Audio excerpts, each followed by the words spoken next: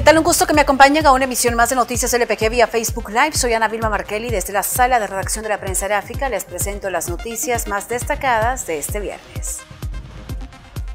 El Colegio Médico asegura que la reducción drástica de COVID-19 en El Salvador inició en julio antes de que el gobierno lo anunciara. Además, estima que el número de muertes es ocho veces mayor a la cifra oficial que actualmente supera las 700 defunciones.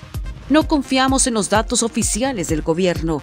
Por la forma en que se han presentado, no hace pensar que sean tan objetivos, cuestionó el presidente del Colegio Médico, Milton Brizuela. Por otra parte, valoró que la reapertura económica se ha hecho de forma desordenada y consideró que el presidente Nayib Bukele debe publicar como ley de la República el decreto 661. El gremio de médicos considera que dicho decreto contiene herramientas valiosas que si se usan adecuadamente pueden ayudar a contener los contagios de COVID-19. Brizuela dijo que por ahora es difícil predecir si existirá una segunda ola de contagios y si será peor que la primera. Por otra parte, el presidente de la institución aseguró que al menos 53 doctores han fallecido en El Salvador a causa del COVID-19. Detalló que en total registran la muerte de más de 100 profesionales de la salud del sector público y privado por la enfermedad.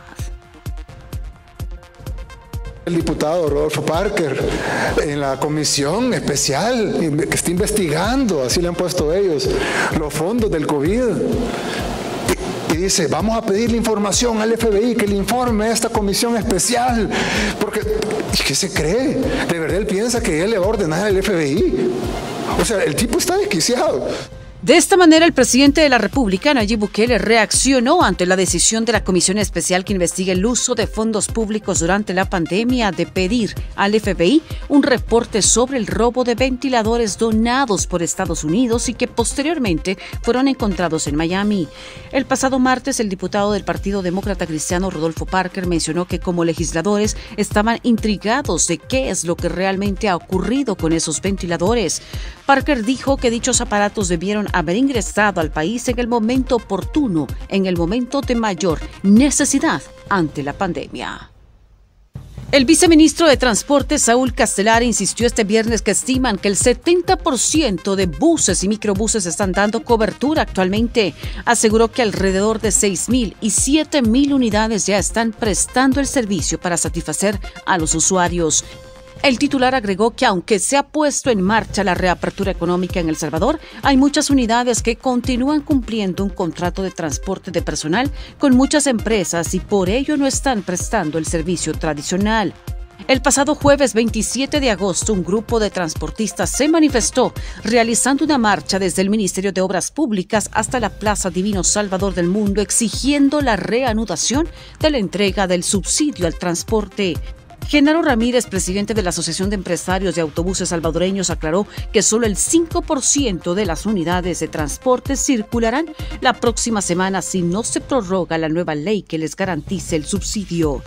Por su parte, Catalino Miranda, presidente de la Federación de Asociaciones Cooperativas de Aprovisionamiento de Empresarios Transportistas Salvadoreños, fue más conciliador al decir que no hay que tomar ninguna acción que atente contra la mesa de negociaciones que sostienen con el gobierno.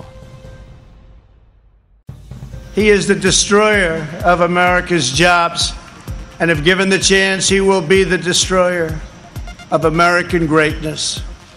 Con un discurso cargado de declaraciones fuertes hacia su contrincante Joe Biden, Donald Trump pidió a los ciudadanos norteamericanos el voto para seguir cuatro años más en la presidencia de los Estados Unidos. El presidente norteamericano recalcó que necesitaría el apoyo de todos para salvar a Estados Unidos de un partido demócrata, el cual describió como un movimiento radical y socialista.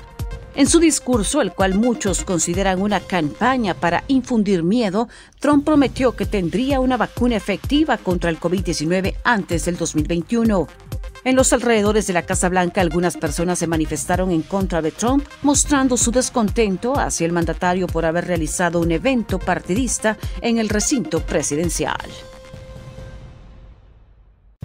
Gracias por haberme acompañado a una emisión más de Noticias LPG. Los espero la próxima semana para compartirles más información. Hasta pronto.